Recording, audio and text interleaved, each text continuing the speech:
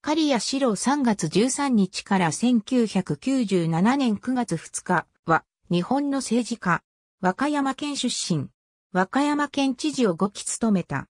1922年3月13日、和歌山県西室郡串本町で生まれる。1947年に京都帝国大学法学部を卒業し、1949年に和歌山県庁に入庁した。1959年に土木部次長、1963年に経済部長、1967年10月16日には水頭庁に就任している。1975年に副知事となった。同年10月4日の和歌山県知事、大橋正夫の急逝を受けて行われた和歌山県知事選挙に立候補して当選。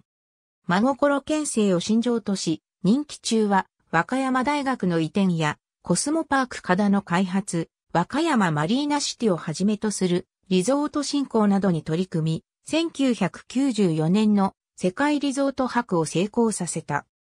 また、和歌山県の陸の孤島とされる状態の打開を目指して、半島振興法の制定に尽力し、阪和自動車道の延伸や特急、黒潮の新大阪駅乗り入れ、関西国際空港の実現などにも貢献している。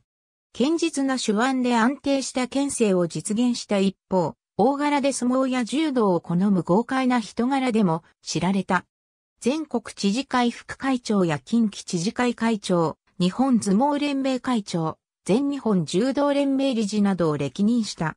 1996年に、君一等随宝賞を受賞。1997年9月2日2時50分、腎不全のため死去。13位に除せられた。ありがとうございます。